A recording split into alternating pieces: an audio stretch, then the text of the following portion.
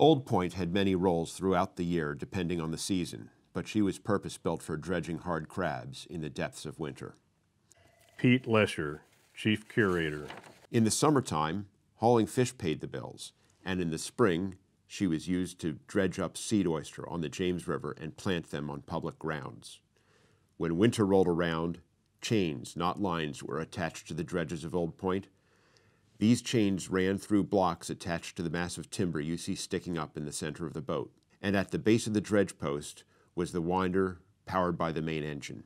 The captain alone held the power to loose and engage the dredges from the cabin. Dredging crabs was hard on both the crew and the vessel. The weather was cold, and the bottom held rocks in lower bay waters, risking the chance of snagging a dredge. Once crabs were brought on deck, men culled through the muddy crabs and placed them in wooden barrels on deck.